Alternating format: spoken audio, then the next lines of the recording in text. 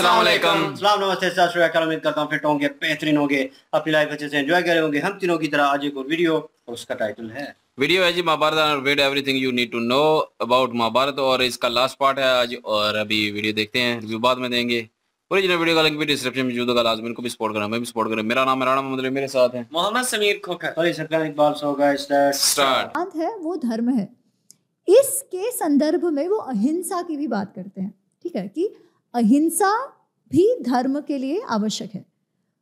पर अहिंसा जो हम आज समझते हैं, अहिंसा वो नहीं है। अहिंसा क्यों है? धर्म के लिए। अच्छा अब धर्म क्या है? जैसे मैं कह रही थी, धारणात धर्मित्याहु because it upholds and sustains it is dharma. तो कोई भी जो प्रणाली है, कोई भी व्यवस्था है, कोई भी समाज है, वो चलता रहे, उसके लिए वो सिद्धांत है, वो धर्म है। अच्छा अब कोई भी वर्च्यू हम जिसे कहते हैं, वो ये है जो उस सस्टेनेंस में मदद करे। अब लोग एक दूसरे को मारते रहे, एक दूसरे पे हिंसा करते रहे, तब तो सस्टेनेंस होगा नहीं, तब तो वो समझ समाज बिखर जाएगा। इसलिए अहिंसा का होना तो आवश्यक है कि हम सब एक दूसरे को मार ना दे। परंतु अगर समाज में ऐसे तत्व आ गए हैं जो समाज में हिंसा कर कर समाज को तोड़ने, बिखरने का काम कर रहे हैं तो उनको जीवित रख कर क्या हम समाज पे हिंसा कर रहे हैं या अहिंसा कर रहे हैं? समाज पे तो हिंसा हो रही है ना? उनके साथ अहिंसा कर कर, क्योंकि वो तो समाज में हिंसा ही कर रहे हैं। तो उनको दंड देना, ये तो राजा का कर्तव्य है। अगर उनको दंड ना दो तो वो हिंसा हो गई। उनको दंड देना अहिंसा में ही आता है। और ये न्यूएंस है हिंसा, अहिंसा का। क्योंकि अगर वो कार्य समाज के चलते रहने में मदद नहीं करता, समाज को तोड़ने का काम करता है तो वो धर्म नहीं हो सकता और वो अहिंसा भी नहीं हो सकती। अहिंसा वही है जो समाज को पकड़े रखे, समाज को धा मतलब समाज को चलते रहने में मदद करे। तो आज जैसे बात होती है ना कि अरे, वो जो टेररिस्ट है, आतंकवादी है उसके साथ उसको दंड देना मतलब हिंसा कर देना। हम तो नॉन वायलेंस में मानते हैं। इसलिए ऐसे तत्वों को भी हम कुछ ना करें। नहीं, ये तो गलत है। ये तो अहिंसा की समझ ही पूर्णतः गलत है। उनको माफ़ कर देना, उनको छोड़ देना ताकि और दस ऐसे टेररिस्ट जन्म जाए। ये समाज पे अहिंसा नहीं है, ये समाज पे हिंसा होने जैसी बात हुई। और ये न्यूएंस बहुत क्लियरली भीष्म स्वयं भी समझाते हैं। भीष्म ने ये प्रसंग, भीष्म के साथ एक और भी आता है मेरे ख्याल से वन पर्व में है क्योंकि वन पर्व में बहुत सारे कहानी किस्से हाँ। आते हैं। ना। यानी कि पूरी की पूरी रामायण भी वन पर्व में हाँ। राम तो ये जो भीष्म परशुराम युद्ध हाँ। का जो प्रसंग है उसमें जब परशुराम जी जो हैं वो बिल्कुल तत्पर हैं कि नहीं तुमको तो अम्बा को स्वीकार हाँ। करना पड़ेगा तो वो मना कर रहे हैं।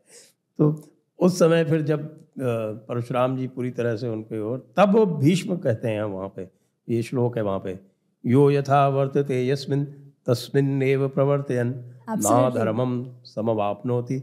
न चा न न चा अश्रेयश्च विन्दति। करेक्ट तो ना इससे अधर्म होता है न अश्रेय होता है।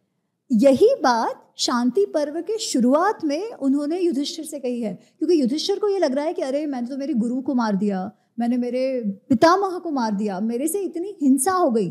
तो अब मैं अपना चेहरा पितामह को कैसे दिखाऊँ? ऐसा उसे लग रहा है। तब भीष्म उसे यही कहते हैं कि नहीं, तुम तुम्हारे शत्रु जो थे, अगर एक गुरु ही क्यों ना हो, अगर वो भी अधर्म के मार्ग पर चल रहा हो, एक पिता ही क्यों ना हो, अगर वो भी अधर्म के मार्ग पर चल रहा हो तो राजा का कर्तव्य है कि उसे भी दंड दे। और अगर वो युद्ध भूमि में आपका शत्रु बन के आए तो उसे मारना आपका कर्तव्य है। इसी में श्रेयस है और इसी में धर्म है। वो उस समय भी ये बात कहते हैं। उसी चीज़ का रिपीटेशन दूसरी उस तरीके का रिपीटेशन एग्जैक्टली एग्जैक्टली जो उन्होंने परशुराम इसलिए तो अपने गुरु के साथ ही उन्होंने युद्ध किया है ना? गुरु के साथ युद्ध किया और हराया केवल युद्ध करने के लिए नहीं किया। बिल्कुल बिल्कुल बिल्कुल। और लेकिन इसमें एक और भी बड़ा रोचक प्रसंग आता है जिसमें कृष्ण और अर्जुन का संवाद होता है गीता के बारे में दोबारा। हाँ।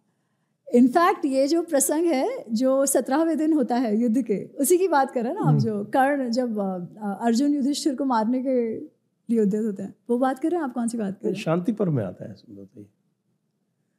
शांति पर्व में तो अर्जुन का कोई रोल ही नहीं है खास। आप कौन से इसका बात कर? रहे हैं शायद मैं गलत समझ रही हूँ। आप बताइए। मैं वो युद्ध के सत्रहवें दिन की बात कर रही हूँ जब एक्चुअली मुझे ये प्रसंग बहुत बहुत ज़्यादा प्रिय है क्योंकि धर्म मतलब क्या? उसका यथार्थ चित्रण, विवरण, वो पूरा इसमें कृष्ण ने करा है और कृष्ण जो श्लोक कह रहे हैं, वो एग्जैक्टली exactly फिर शांति पर्व में धर्म, अहिंसा की व्याख्या करने के लिए फिर से भीष्म कहते हैं। तो सत्रहवें दिन ये होता है कि कर्ण जो है, उस दिन वो पूरे फॉर्म में है। अब बहुत सारे लोग तो ऑलरेडी मर चुके हैं तब तक, है ना, कौरव साइड पे। तो कर्ण ने कहा है, नहीं, आज तो या तो मैं मरूँगा या तो मैं अर्जुन को मारूँगा। और वो इस दिन इतना जोश में है कि उसने युधिष्ठिर को बहुत ही ज़्यादा घायल कर दिया है। और युधिष्ठिर जो है वो इतने उनको शरीर में इतना दर्द है कि वो अपने शिविर पे वापस चले गए। तो जब शिविर, जब वो नहीं देखते युधिष्ठिर, अर्जुन जब युधिष्ठिर को नहीं देखते तो वो कहते हैं कृष्ण से कि, अरे, युधिष्ठिर कहाँ गए? हम देख के आते हैं। तो वो भीम से पूछते हैं और भीम कहते हैं, शायद वो शिविर में गया मैं यहाँ युद्ध संभालता हूँ, तुम जाके देखो कि वो सही है कि नहीं। क्योंकि अगर युधिष्ठिर को कुछ हो जाए तो वैसे ही युद्ध समाप्त हो जाना है। तो जब अर्जुन जाते हैं युधिष्ठिर को देखने तो युधिष्ठिर को लगता है कि ये कर्ण को मार कर मुझे खुशखबरी देने आया है। तो वो कहता है, अरे वाह तुमने कर्ण को मार दिया, बहुत अच्छा किया, वगैरह वगैरह। और कर्ण कहता है, नहीं नहीं, मैंने युधिष्ठिर को नहीं मारा, मैं कर्ण को नहीं मारा, मैं तो केवल आपको देखने आया था। तो युधिष्ठिर अनलाइक हिज नेचर उनका स्वभाव ऐसा नहीं है, पर उस समय क्योंकि शरीर में इतना दर्द है, मन में अपमान की भावना है कि इस तरीके से कर्ण ने उनको हराया तो वो अत्यंत गुस्सा हो जाते हैं। और वो कहते हैं कि तुम मुझे देखने नहीं आए हो, तुम कायर हो, तुम कर्ण से भाग कर आए हो, क्योंकि तुम कर्ण से युद्ध नहीं करना चाहते, इसलिए तुम मेरे पास आए हो। और मैंने देखा, इतने दिन से भी तुम सही से जैसा लड़ना चाहिए, वैसे लड़ नहीं रहे। अभिमन्यु और घटोत्कच उससे अच्छा अगर जीवित होते तो मेरे काम के ज़्यादा थे, वो मार देते कर्ण को। तुम तो कर्ण से डर रहे हो, इसलिए यहाँ आ गए हो, ये तुम, तुम्हारा जो गांडीव है ना, वो कृष्ण को दे दो, या किसी और को ही दे दो तो वो ही उसका उपयोग अच्छे से करे, तुम तो नहीं कर रहे। ऐसे वो दर्द में वो डेल्यूजनल हो गए और वो कह रहे हैं। तो जब वो ये कहते हैं कि ये जो गांडीव है, वो तुम किसी और को दे दो तो अर्जुन जो है, वो अपनी तलवार निकाल कर उनकी ओर जाता है, उनकी ओर दौड़ता है। तो कृष्ण जब देख रहे हैं, कृष्ण कह रहे हैं, भाई, क्या कर रहे हो तुम ये? क्यों जा रहे हो ऐसे तलवार लेके अपने भाई के पास? तो अर्जुन कहता है, मेरी तो प्रतिज्ञा है, मेरी प्रतिज्ञा है कि कोई भी मुझे कहेगा कि ये गांडीव किसी और को दे दो तो मैं उनका सिरच्छेद कर दूँगा। अब मेरे भाई ने कह कह, कह दिया पर प्रतिज्ञा तो प्रतिज्ञा होती है। अब मैं क्या करूँ? अब तो मुझे करना पड़ेगा। तो कृष्ण कह और वो कह रहा है कि यही धर्म है यही सत्य है यही सब बात वो करता है कि धर्म है सत्य है अब तो मुझे करना पड़ेगा। कृष्ण कहते हैं क्या सत्य क्या धर्म? तुम्हें कुछ अक्ल है? सत्य क्या है धर्म क्या है उसे कैसे समझो? पहली बात तो तुमने एक बालक के जैसे एक बच्चे के जैसे अपनी मूर्खता में कोई भी मन में ऐसी प्रतिज्ञा कर ली। अब वो प्रतिज्ञा सच करने के लिए तुम ये अधर्म करे जा रहे हो जिसमें तुम अपने भाई को मारना चाहते हो। वो कहते हैं आप हिंसा किस पे करते हो? उस पर जो आपका शत्रु हो उस पर जो रणभूमि में आपके सामने आया हो या उससे जो जिसने आपका कुछ बिगाड़ा हो। तुम्हारे भाई ने तो ऐसा कुछ भी नहीं किया। ना वो तुम्हारा शत्रु है ना ही उसने तुमको कुछ बिगाड़ा है तुम्हारा। तो किस क्यों तुम हिंसा करना चाहते हो? तो ये तो हिंसा ये तो हिंसा ही हो जाएगी अगर तुम करोगे तो, तो तुमको हिंसा क्या है? धर्म क्या है, अधर्म क्या है, ये तो तुम कुछ जानते ही नहीं हो, इसीलिए तुम ऐसा कर रहे हो। और फिर वो एक कहानी सुनाते हैं, कृष्ण, कि सत्य असत्य धर्म असत्य धर्म को कैसे समझे? जिसमें वो कौशिक ऋषि नामक एक ऋषि हैं। तो कहते हैं कि कौशिक ऋषि ने एक प्रतिज्ञा की थी, कि नित्य ही सत्य बोलूँगा, नित्य ही मैं सत्य बोलूँगा। और पूरा जीवन वो सत्य ही बोल रहे हैं। अच्छा एक दिन क्या होता है, वो बहुत बूढ़े हो गए और अपने आश्रम में बैठे तो कुछ गाँव वाले उनके पास आते हैं और कहते हैं कि स्वामी जी हमारे पीछे कुछ गुंडे लगे हुए कुछ डाकू लगे हुए हैं। हम उनसे अपने आप को बचाने के लिए भाग रहे हैं। हम वहाँ जो खेत या कुछ झाड़ी है, उसके पीछे जाके छुप रहे हैं। अगर वो आपसे पूछे तो उनसे कह देना, हम अलग दिशा में चले गए। और वो भाग जाते हैं। अच्छा अब डाकू आ जाते हैं और वो भी स्वामी जी से प्रश्न करते हैं कि आपने देखा गाँव वालों को? अब स्वामी जी ने तो सत्य बोलने की प्रतिज्ञा ले रखी है। तो क्या करो? तो वो तो कह देते हैं कि हाँ भाई, यहीं पर है। वो गाँव वाले उस झाड़ियों के पीछे छुपे हुए हैं। तो डाकू जाते हैं, उन लोगों को मार देते हैं और सारा उनको लूट के चले जाते हैं। फिर उनकी मृत्यु होती है और यमराज कहते हैं कि इनको तो नर्क में भेज दो। और स्वामी जी को बहुत गुस्सा आता है कि अरे, आप कहते हो सत्य ही धर्म है, धर्म ही सत्य है। और जब मैंने पूरे जीवन में सत्य और केवल सत्य बोला है, तब आप मुझे नर्क में कैसे भेज सकते हो? और तब उसका ये संदर्भ लेके कृष्ण बताते हैं कि सत्य का अर्थ क्या? अगर वो सत्य से इतने सारे जो इनोसेंट लोग थे, जिनका कोई दोष भी नहीं था, ऐसे लोगों की मृत्यु करा दी आपने, आपके हठ में, जिनका मृत्यु नहीं होना चाहिए था, वैसा कार्य आपने किया तो वो सत्य क्या? उससे अच्छा तो अगर उनको बचाने के लिए आप एक एक असत्य बोल देते तो वो सत्य का रूप ले लेता। तो सत्य और असत्य को आपको कैसे देखना है? और तभी वो ये बात कहते हैं कि धारणात धर्मितियाहु, धर्मो धारयति प्रजा यह स्यात धारण संयुक्तम सधर्म इति निश्चय। कि धर्म वो है जो धारण करता है, जो किसी व्यवस्था को चलाए रखता है, जो उसे सस्टेन करता है। अगर आपका कार्य ऐसा है जो निर्दोष लोग हैं, उनको मरवा देता है, या जिसका कोई दोष नहीं है, उसका सारा आपके स्वयं के जीवन को जब खतरा हो, तब आपको फ़ायदा ना करे। अगर ऐसी परिस्थिति हो तो उस समय अगर आप हट के कारण जो आप अपेरेंट सत्य को पकड़े रखो तो वो सत्य नहीं है। वो धर्म भी नहीं है, वो अधर्म है। क्योंकि ऐसे तो फिर जो ज़्यादा शक्तिशाली है, वो हमेशा से अपना न्याय, अन्याय कुछ भी है he will always have his way right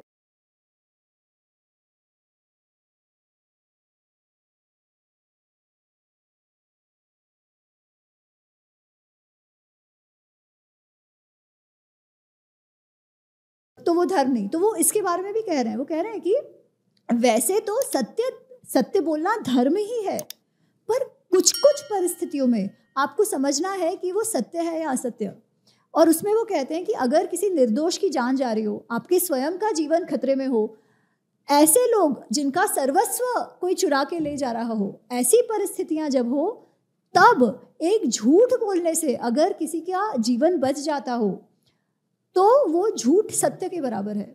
और वो धर्म है, उस परिस्थिति में हठपूर्वक अगर आप सत्य सत्य करते हो तो वो जो सत्य है, वो भी असत्य के बराबर है।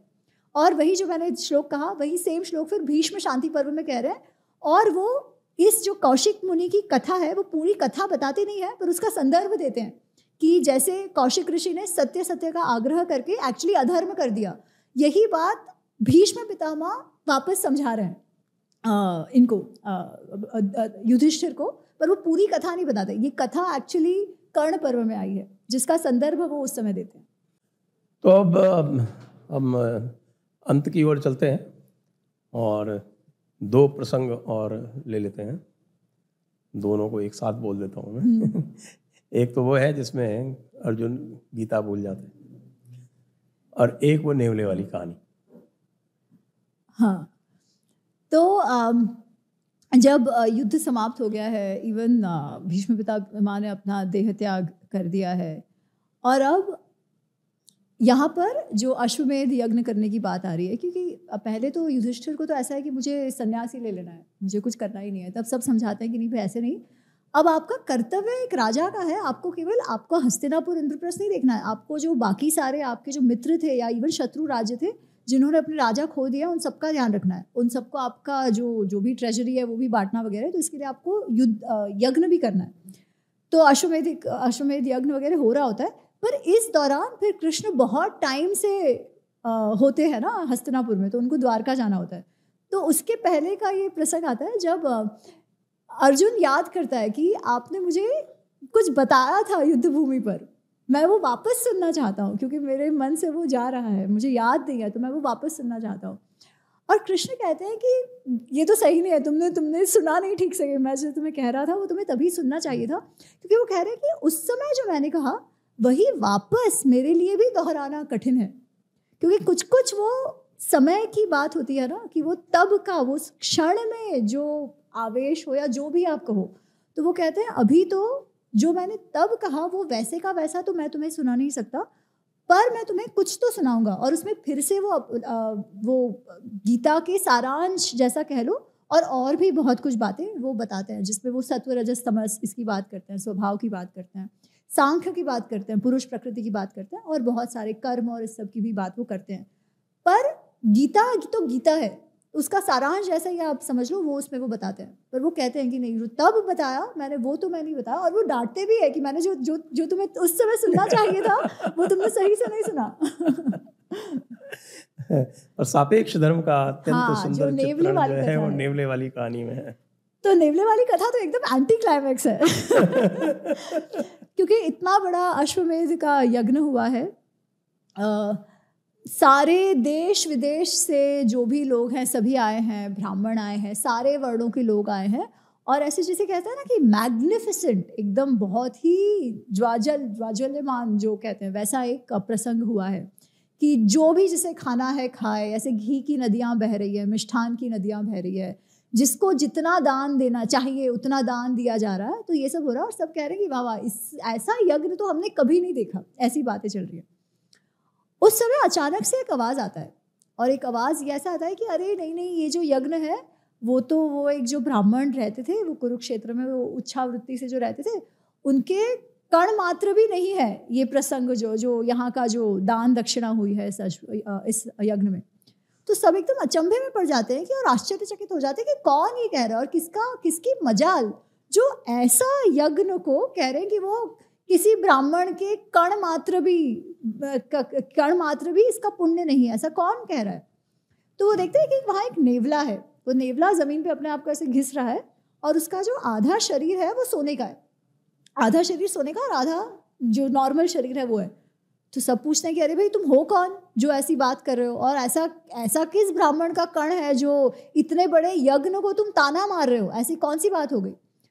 और तब जो नेवला है वो कथा सुनाता है। वो कहता है कि कुरुक्षेत्र में एक ब्राह्मण रहते थे जो बहुत गरीब थे और जो उच्छावृत्ति उच्छावृत्ति में ये होता है कि आप जो आ, आप जो भिक्षा भी कहीं और से नहीं लाते पर खेत में जो दाने पड़े हो ना वो चुन चुन के लाते हो और उसी से अपना घर चलाते हैं। तो उनका एक तो ये था कि वो तीन दिन में एक बार खाएँगे। और कैसे खाएँगे? तो ऐसे चुन चुन के जो लाया हुआ कण है उसी को खाएँगे। ये वो ब्राह्मण परिवार का व्रत तो एक बार ऐसा होता है कि महीनों तक जिस जिस राज्य में वो थे वहाँ पर बरस, बरसात नहीं हुई है। दुर्भिक्ष हो गया। दुर्भिक्ष हो गया है। तो वो खेत में धन धाने उगा ही नहीं है तो वो खाने की तो वो पड़े होने की तो क्या बात? तो बहुत सारे दिनों तक उनका उपवास ही हो गया है कुछ खाने को नहीं मिला है। फिर बहुत दिनों बाद कहीं ना कहीं से उनको वो जव मिलते हैं। तो वो जव लेके आते हैं और वो जव का चार भाग कर देते हैं और उनको पका के वो बस खाने बैठ रहे होते हैं सारा वो पूजा अर्चना कर कर। घर पे ब्राह्मण, उनकी पत्नी, उनका बेटा और पुत्रवधु ये चार लोग हैं। तो वो अभी बस खाना ग्रहण करने ही वाले होते हैं, तब एक अतिथि आते हैं और वो अतिथि कहते हैं कि मुझे भूख लगी है, मुझे खाना दो। तो ब्राह्मण अपने भाग का जो जव था, वो उनको दे देता है, पर अतिथि का पेट नहीं भरता। तो ब्राह्मणी जो उनकी पत्नी है, वो कहती है कि अच्छा अतिथि देवो भव उनको ही हमें पहले देना चाहिए। तो आप मेरे भाग का भी दे दो। तो उनके भाग का खाना उनको दे देते हैं। अभी भी उनका पेट नहीं भरा। तो ऐसे कर करके जो पूरा परिवार है, वो खुशी खुशी उनको बिल्कुल दुख भी नहीं हो रहा कि ऐसे भी नहीं करे, ये कौन आ गया? ऐसा भी नहीं। खुशी खुशी अपने भाग का अन्न जो उन्होंने इतने दिनों से कुछ नहीं खाया, इतने भूखे वो हैं, फिर भी दे देते हैं क्योंकि अतिथि का सत्कार करना तो बनता है। तो वो नेवला कहता है, इस तरीके से उन्होंने अपना सारा जो अन्न था, भूखे होने के बावजूद अतिथि को दे दिया। तो वो जब दे रहे थे तो एक छोटा सा कण वहाँ पर पड़ा था। और मैं उस कण के, कण को जब लेने गया, तब जब मेरा शरीर उस कण को स्पर्श हुआ, तब मेरा शरीर सोने का हो गया। उसके बाद से मैं यज्ञ यज्ञ घूमता फिर रहा हूँ, दान दक्षिणा जहाँ होती है, कि कहीं मुझे वापस ऐसा कुछ अन्न मिल जाए, जिससे मेरा जो दूसरा भाग है, वो भी सोने का हो जाए। पर यहाँ आकर भी वो नहीं हुआ। तो यहाँ का जो पुण्य, ये अश्वमेध यज्ञ में जो पुण्य हुआ है, उससे तो उस कण मात्र का पुण्य है, वो अत्याधिक था। और वहाँ पे जो आप कह रहे हो, वो सापेक्ष धर्म की बात है है ना कि जिसके पास सब है और वो दान दे रहा है, वो तो एक बात है। पर जिसके पास कुछ भी नहीं है, फिर भी वो भाव कि नहीं, किसी और को मुझसे ज़्यादा आवश्यकता है तो भले ही मुझे क्यों ना और सहन करना पड़े, मुझे ही क्यों और भूखा ना रहना पड़े पर उसको आवश्यकता है तो मैं दूँगा, अतिथि है तो मैं दूँगा। वो दान, वो वो सर्वोत्तम दान है कि आपने एक्चुअली जो आपके पास ना होते हुए भी दिया तो वो सर्वोत्तम दान है और इसलिए वो जो धर्म भी हुआ है, जो पुण्य भी हुआ है, वो उस दान का अधिक है अश्ववेद यज्ञ से। तो ये बात वो नेवले की बात है। और फिर इवेंचुअली पता चलता है कि वो नेवला भी एक रूप था वगैरह वगैरह बट हाँ तो ये बहुत ही एंटी क्लाइमैक्स वाली कथा है। महाभारत के हर एक प्रसंग से कुछ ना कुछ ऐसा है ना कि हमको सोचने पे मजबूर कर देता है, ऐसे प्रसंग आ ही जाते हैं बात बात पे। जी, बिल्कुल सही है। तो आपका बहुत बहुत धन्यवाद, अमी जी। आपने बहुत ही धैर्य से सारे प्रश्नों का और सारे प्रकरणों का उत्तर दिया और निश्चित रूप से जो भी हमारे जो दर्शक देख रहे हैं इस पॉडकास्ट को उनको महाभारत के बारे में और अधिक जानकारी मिलेगी और मैं ये उनसे अपेक्षा करता हूँ कि वे इसको सुन के महाभारत को अध्ययन करने के लिए प्रवृत्त हों। एब्सोल्युटली बहुत बहुत धन्यवाद संजय जी आपका कि आपने मुझे बुलाया और इतने धैर्य से सुना। और आपने ये जो अंत की बात कही ना, उस पर मैं एक बात कहना चाहूँगी, क्योंकि मुझे प्रश्न बहुत बार पूछते हैं कि, मैम, आप कहते हो कि महाभारत पढ़ो बट महाभारत तो घर पे ही नहीं रखना चाहिए। महाभारत घर पे रखोगे तो महाभारत हो जाएगी। तो इसमें पढ़ने की ये भी मिशनरीज का पढ़ाया हुआ है। और ये इतने सारे लोग इस बात को मानते हैं संजय जी की पूछिए मत। तो मैं आपके माध्यम से सबको कहना चाहूँगी कि ऐसा नहीं है। इनफैक्ट महाभारत की जो फलश्रुति है उसमें यह है कि ये तो धर्मशास्त्र है ये पुण्य ग्रंथ है। इसका थोड़ा भी भाग पढ़ो तो पुण्य मिलता है। और बहुत सारे इसके बेनिफिट्स ही बेनिफिट्स है। जिसको जय चाहिए घर में शांति चाहिए उन सब के लिए महाभारत का अध्ययन करना आवश्यक है। ये हमारे ऋषि मुनियों ने कहा है। तो निश्चय ही आप इसका अध्ययन करिएगा घर पे रखने से कुछ भी नहीं होता। घर पे रखने से अच्छा ही होता है। बहुत बहुत धन्यवाद अभी जी आपको। जय हिंद जय भारत जय हिंद वंदे जय मातरम।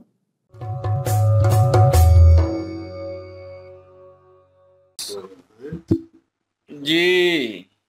जी। जी बिल्कुल जी। इस एपिसोड में हमें बहुत कुछ सीखने को मिला खसूसी तौर पर जो कृष्णा जी जो हैं उन्होंने जो चीज़ें हमें बताई हैं जो एडवाइस एक स्टोरी के ज़रिए उन्होंने बताने की कोशिश की कि इस तरह की कंडीशन जो होती है ज़िंदगी में कुछ इस तरह के मामला होते हैं जहाँ पे सच और झूठ जो है ना इसका फ़र्क समझना बड़ा ज़रूरी होता है। कुछ ऐसी जगह होती हैं जहाँ पे झूठ बोलना ज़रूरी हो जाता है और वहाँ पे अगर आप झूठ धर्म की खातर बोलते हैं तो वो अधर्म नहीं हो सकता। वो भी धर्म के ही जुमरे में आता है जहाँ पे आप झूठ बोलते हैं। देखें कि अगर वो लोग जो थे, अब जो स्वामी जी थे, उन्होंने तो बिल्कुल इस चीज़ का वचन दिया हुआ था कि मैंने हमेशा सच ही बोलना है, सारी ज़िंदगी सच ही बोलना है। लेकिन वो गाँव वाले लोग थे, वो बेचारे गुंडे जो थे, उनके पीछे लगे हुए थे, वो भागते भागते उनके पास आए और उनसे कहा कि आप हमारे बारे में ना उन्हें बताइएगा, आप किसी और साइड का बता दीजिएगा कि वो इस साइड पे चले गए। लेकिन जब वो जाके झाड़ियों में छुप गए गाँव वाले और वो गुंडे पास आए हैं उनके और उनसे पूछा तो उन्होंने सच बोल दिया। उन्होंने कहा हाँ वो तो इस साइड पे गई हैं। लेकिन जब उनकी मृत्यु हुई और मृत्यु होने के बाद जो है, वो स्वामी जी के पास यमराज आए और यमराज ने कहा कि इनको नरक में भेजना चाहिए। तो स्वामी जी कहते हैं कि आपने तो हमेशा मुझे यही पढ़ने को और सीखने को मिला है कि सच बोलना चाहिए। तो मैंने तो सारी ज़िंदगी सच बोला है तो वहाँ भी ये बोला गया कि आपने जो सच बोला है, उस सच के कारण किसी की मृत्यु हो गई है, बहुत सारे लोगों की जानें चली गई हैं। उनका माल जो है वो लूट लिया है चोरों ने। तो इस तरह से किसी की जान बचाने के लिए, किसी का माल बता, बचाने के लिए, किसी के फ़ायदे के लिए, किसी को नुकसान ना देने की वजह से अगर इंसान को ज़िंदगी में झूठ बोलना पड़े तो वो धर्म नहीं, वो सॉरी अधर्म नहीं, वो धर्म में ही आता है। तो बाजों का जो है वो झूठ भी इंसान को लग रहा होता है कि मैं अधर्म कर रहा हूँ, लेकिन ऐसा नहीं होता। वो अधर्म होता है। और दूसरा, यहाँ पे करण की बात करें तो करण जो है वो युधिष्ठर को उन्होंने जख्मी कर दिया था। युधिष्ठर जो है अपने कक्ष में चले गए थे और फिर जो है अर्जुन उनको नज़र नहीं आई युधिष्ठर। तो उन्होंने भीम से पूछा, भीम ने कहा कि मुझे नहीं पता, आप उनको देखिए, यहीं कहीं होंगे। तो अर्जुन जो है वो वहाँ पे जब पहुँचते, ढूंढते ढूंढते कक्ष में वहाँ पे युधिष्ठर जो है वो जख्मों से निडाल थे। तो उन्होंने पूछा कि आप करण को मार रहे हैं? अर्जुन से ये कहा युधिष्ठर ने, उन्होंने कहा, नहीं, मैं तो आपको ढूंढता ढूंढता इधर आया उन्होंने कहा, नहीं, तुम मुझे ढूंढते ढूंढते नज़र नहीं आए। वैसे किठोरपन जो है वो उनमें बिल्कुल भी नहीं है। बहुत ही मुलायम से थे, बहुत ही लविंग से बंदे थे युधिष्ठर जो है वो। लेकिन यहाँ पे उनका थोड़ा सा वो गुस्सा देखने के लिए मिला। और अर्जुन से उन्होंने कहा कि आप तो कायर हैं, गुस्से में आ गए थे वो। आप तो कायर हैं, आप यहाँ पे आ गए हैं। आपने करण का वाद करना था आपको। आपसे तो बेहतर था घटोटकच और अभिमन्यु मेरे साथ होते तो हम उनका वाद कर लेते। लेकिन ये है कि आप यहाँ पे मेरे पास आ गए तो फिर अर्जुन वापस गए और अर्जुन ने वहाँ पे जाके युद्ध किया करण के साथ। लेकिन करण जो चीज़ें कर रहा था, उसको भी कृष्णा जी ने बताया कि जो तुम धर्म को लेकर चल रही हो ना, जो तुम समझते हो कि जो तुम कर रहे हो वो धर्म है, वो धर्म नहीं है, वो अधर्म कर रहे हो। और बिल्कुल जी, कृष्णा जी ने सबको समझाया था क्योंकि जो उनके दिल में थोड़ा सा भी धर्म था तो वो समझते थे कि हम धर्म पे चल रहे हैं। तो उनको जो है वो असलियत बताई है कि जो इसको धर्म समझ रहे हैं, वो अधर्म है असल में। तो एक सत्य सत्य की भी जो है वो एक मिसाल दी, इसी तरह जो है वो अपना हिंसा, अहिंसा, धर्म, अधर्म की भी बात की कि जो हम किसी को डांड देते हैं, वो भी अहिंसा में आता है। लेकिन वो एक दोषी जो बंदा होता है ना, उसको दंड दिया जाता है तो वो अहिंसा में नहीं आता, वो हिंसा में। अगर उसको छोड़ दिया जाए तो दंड मतलब कि वो जालम जो बंदा है, वो और जुल्म करना शुरू करेगा। तो इसलिए उसको रोकने के लिए उसको दंड देना पड़ता है, उसको सजाए मौत देनी पड़ती है। तो वो अहिंसा होने के बावजूद भी हिंसा है। तो जो कि किसी चीज़ को तोड़े नहीं, मुल्कों को तोड़े नहीं, चीज़, और जो काम है वो चलता रहे तो वो धर्म है। अगर उसमें कोई रुकावट आती है तो वो धर्म है।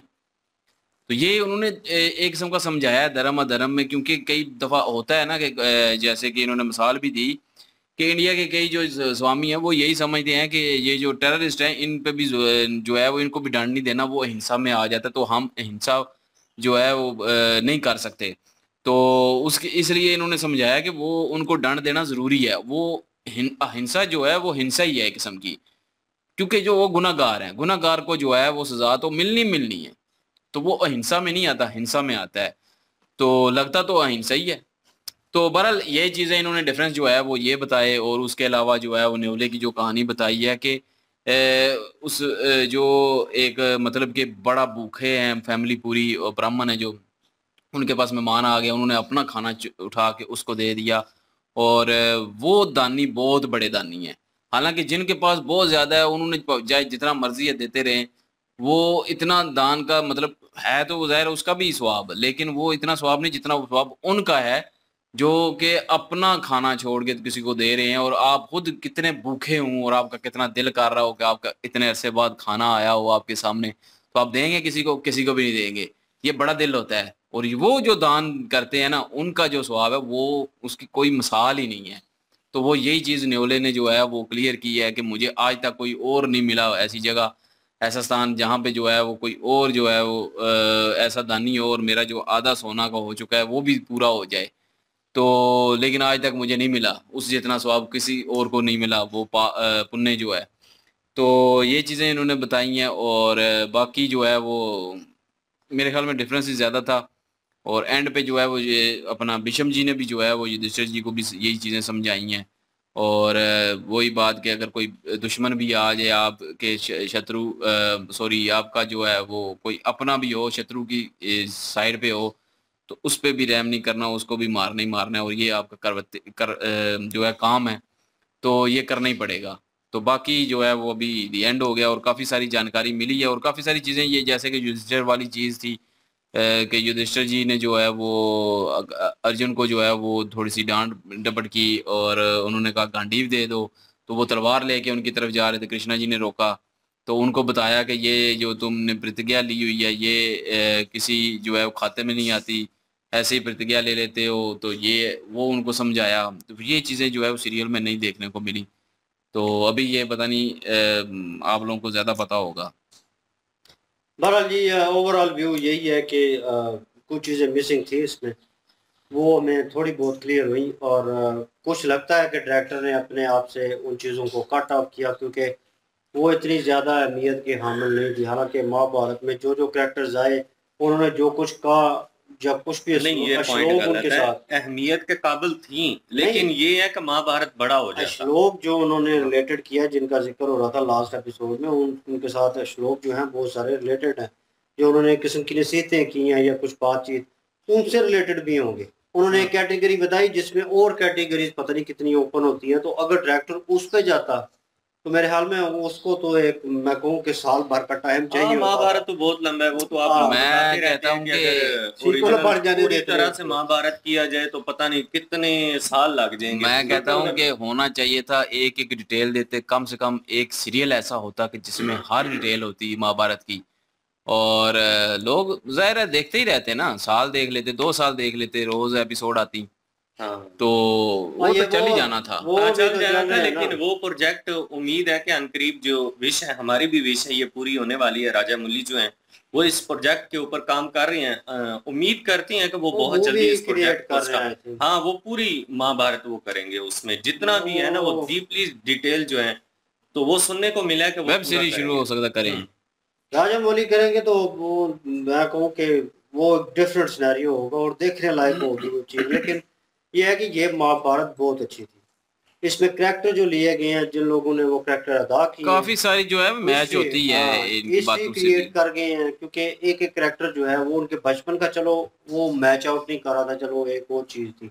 लेकिन जब जवानी का असर वो दौर दौरा दिखाया गया तो जितने भी करेक्टर उनके साथ अटैच हुए हैं तो यकीन माने जब वो मैंने बिहाइंड सीन उनके सीन देखे जब स्टेज पे थे उनकी स्टेज अपेयरेंस देखने वाली थी और इतने लोग शाउट कर रहे थे, सबसे ज़्यादा शाउट जो था, वो मामा शकूनी भी हो रहा था। तो जब उन्होंने माइक पकड़ा और उन्होंने वो डायलॉग बोला और आँख बंद करके और अवाम पागल हो रही थी नीचे। वो एक फ़ैन फॉलोइंग का एक सलाब था नीचे खड़ा, ठीक है? और अवाम उनको फॉलो कर रही थी। एक तो आपके रिलीजन से रिलेटेड चीज़ थी। सेकंड थिंग कि डायरेक्टर ने इतना अच्छा दर्शाया था और एक्ट्रेस ने इतनी अच्छी एक्टिंग की थी कि यकीन माने पूरे क्रू को जो है ना, एक किस्म की बधाई देनी चाहिए कि उन्होंने एक अच्छी क्रिएशन की और हिस्ट्री को एक बार फिर ज़िंदा किया। क्योंकि कुछ लोग जो हैं, वो पुरानी जो है महाभारत, वो देखना नहीं चाह रहे थे। कुछ लोगों ने नहीं देखी होगी इन रियलिटी जो बात है। क्योंकि वी एफ़ एक्स ऐसे होते हैं और डायलॉग कुछ ऐसे होते हैं करेक्टर के साथ आपकी नहीं बनती, ठीक है? ये एक, कह लें कि एक माइंड गेम है कि आपकी एक करेक्टर के साथ आपकी बहुत ज़्यादा बॉन्डिंग हो जाती है। ठीक है। हमारी पांडव लोगों के साथ बड़ी बाउंडिंग थी और मामा शकुनी के साथ भी थी, हालाँकि वो अपोजिट में है। दुर्योधन के साथ भी थी, सबसे ज़्यादा कृष्णा जी के साथ थी, ठीक है। उनकी जो बातें और जिस तरह वो समझा रहे थे और वो चीज़ें, वो उस लेवल पे थी। उस लेवल से नीचे आए तो पांडव लोगों के साथ थी। और अगर अपोजिशन में देखा जाए तो दुर्योधन था और मामा शकुनी थे, ठीक है। उसके साथ करेक्टर जुड़ते आए हैं, भीषम जी आए हैं, द्रोणाचार्य जी आए हैं कर्ण आया है जिसके ऊपर बहुत ज़्यादा डिबेट हुई है। कमर्स में भी हमें फोकस करवाया गया कि यार, इस करेक्टर को आप क्रिटिसाइज ना करें फोकस करें, इसके ऊपर ये एक अच्छा बंदा था और ये और वो। तो हमें आहिस्ता आहिस्ता आहिस्ता आहिस्ता चीज़ें जो है करते, कराते एट दी एंड पहुँचे और हमने क्रिटिसाइज भी बहुत किया, बहुत सारे करेक्टर्स को एक किया और कहा कि यार ये गलत है और ये होना चाहिए। हालाँकि हिस्ट्री थी उस हिसाब से। ओवरऑल व्यू देखा जाए तो हमें बिल्कुल मज़ा आया महाभारत करके भी। और यहाँ पे ये चीज़ें हमने जितनी भी सुनी है अभी तक ये वीडियो पार्ट बाय पार्ट की है तो इसमें हमें यार दो चार चीज़ें मिसिंग लगी हैं। बस उसके अलावा हमें ज़्यादा चेंज अप नहीं लगा।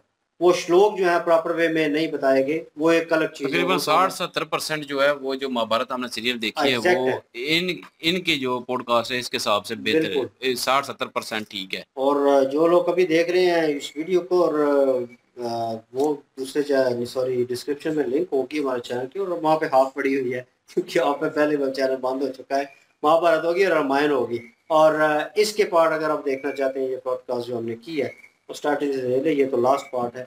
और फ़र्स्ट पे जाएँ स्टार्टिंग में देखें तो फिर आप भी एनालाइज कर सकते हैं दी एंड कि यार क्या चीज़ें जो हैं मिसिंग थी।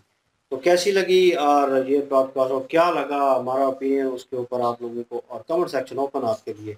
इंशाल्लाह मिलते हैं नेक्स्ट वीडियो में अपना क्या रखिएगा तो भी याद रखिएगा तब तक के लिए अल्लाह हाफिज.